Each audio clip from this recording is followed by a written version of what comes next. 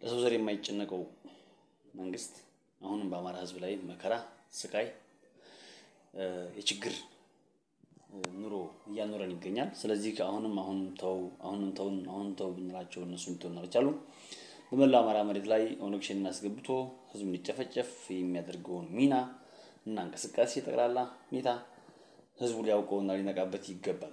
ነገም የሚሆነው ነገ አናውቀውም። ምክንያቱም ጥላት አንድ ጊዜ ተነስቶ የአማራን ህዝብ በጭንቀት በስደት በረሃብ እንዲሰቃይ ለማድረግ አስቦና አልሞ እየተንቀሳቀሰ መሆኑ ይታወቃል። ስለዚህ ምን ይሁን? አማራ ህዝብ ንቃ፣ የኢትዮጵያ ህዝብ ንቃ። ዛሬ ይሄን ኃይል አለኝ አቅም አለኝ ተምሬያለሁ፣ ሀገር እመራለሁ፣ ሀገር እረክባለሁ የሚለውን ህዝብ ለዘመናት ህዝብን ሲያስተዳድር የነበረን የኢትዮጵያን አሌታ የሆነ ህዝብ አሁን ማንነቱን ለማሳጣት በከፍተኛ ደረጃ እየተሰራ ይገኛል። በይፋ በአደባባይ ከዳር እስከ ዳር ድረስ አሁንም አጭራሽ ከህወሀት ጋርም ሌላ ሚስጥር ይዘው ለማታገል ህዝቡን ለማስበላት እየሰራ እንደሆነ የሚያመላክቱ ጉዳዮች አሉ። ለምሳሌ ኦነግ ብንወስድ ሁለት በሬ አርደው አብልተው ሁለት ቀን ከእነሱ ጋር ተገናኝተው እንደወጡ አንዳንድ መረጃዎች ያመላክታሉ።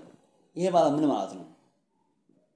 ገዳይ ቡድን ጋር አንድ የመንግስት ሀገር የሚመራ አመራር ተገናኝቶ በሬ አርዶ ሁለት በሬ አርዶ ማብላት ምን ማለት ነው?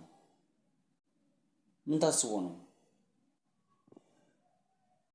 እየሞተ ያለው የሀገር መከላከያ ሰራዊት፣ እየሞተ ያለው የልዩ ኃይል አባላት፣ እየሞተ ያለው የአፋር የአማራ ህዝብ፣ እየሞተ ያለው የደቡብ የሌላውን ብሔር ህዝብ ለይች ሀገር በዋለም እንዴ? ስለዚህ ምን አይነት ቁማር ኑሮ ነው በሰው ሞት ገንዘብ ፍለጋ በሰው ሞት ሌላ ችግር ፍለጋ እየተሰራ ያለው ለምንድን ነው ብለን እንዳንናገርም የሚሰማን አጣን። ብንናገር የሚሰማን የለም፣ ባንናገርም ያው ነው። ስለዚህ አሁን ላይ ህዝቡ ነቅቶ በየአካባቢው ራሱን መጠበቅ መቻል አለበት። ጥላት ምንጊዜም ጥላት ነው። ይመጣል ብለህ ትጠብቀዋለህ። ይሄኛው ግን መንግስት ነኝ ብሎ በመንግስት መዋቅር አንተን ለማሸማቀቅ ይሰራል። በጎን ደግሞ ከጥላት ጋር ተመሳጥሮ አንተን ለመጉዳት ይመጣል። እየሆነ ያለው ነገር በጠቅላላ ትንሽ የማይባል ደረጃ ያለው ህዝብን ከህዝብ ጋር ለማባላት ቁጥር ለመቀነስ ይሁን ወይስ አማራ የሚለው ብሔር እንዲጠፋ ይሁን? አፋር የሚለው የሚባለው ብሔር እንዲጠፋ ተፈልጎ ይሁን? ምንም አይነት ቁማሩ የማይገባህ የፖለቲካ system ወይ ደግሞ የትግራይ ህዝብ በሙሉ በሙሉ እንዲጠፋ ተፈልጎ ይሁን? ወይም የደቡብ ህዝብ እንዲጠፋ ተፈልጎ ይሁን? የማንኛው ህይወት እንዲጠፋ እንደተፈለገ እናውቀው። ይህን እየተሰራ ያለው የህዝብ ልጅ እንደፈለገ እንዳይኖር፣ የህዝብ ልጅ ወጥቶ እንዳይገባ፣ በፈለገበት ሀገር ወጥቶ ገብቶ እንዳይሰራ፣ እንደ ፍየል እየወደቀ እንዲቀር፣ እንደ በግ የፈለገው እየታፈነ እንዲበላ በአፍኒት እየተሰራ ነው። ስለዚህ ይህን መከላከል የምንችለው አንድና አንድ መላው የኢትዮጵያ ህዝብ ነቅቶ ይህን ነገር ሀግ ሊለው ይገባል። በቃ ሊለው ይገባል። አቁም ሊለው ይገባል። ሊቃወም ይገባል። አስፈላጊም ከሆነ ሰልፍ ሊወጣ ይገባል። በቃ ስንት ሀገር አቋርጦ አማራ ክልል ላይ ገብቶ በኬሚሴ በኩል እነዚህን ጀግኖች መግደል ማጣት በተዘጋጀ በተቀነባበረ የፌዴራል ፖሊስ ልብስ የለበሱ ኃይሎች ገብተው ምንም የሚያውቀውን ወጣት፣ አዛውንት፣ ሀብት፣ ንብረት፣ ቤት፣ ርስት አጠቃላይ ሲወድም ከማየት በላይ የሚያም ነገር የለም። ጎበዝ እውነት እውነቱን እናገር። ወይዘሮ አብይ ወይም ነው አቶ አብዩ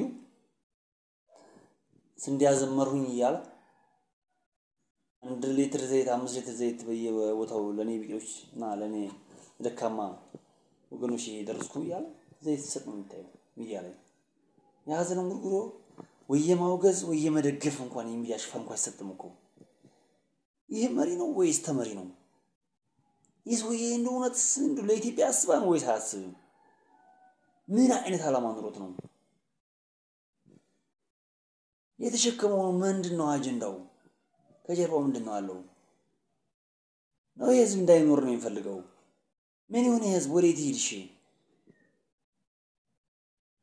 ጠላት አሁን ለክረምት ጦርነት እየተዘጋጀማለሁ። ይህንም እሱ ያውቀዋል።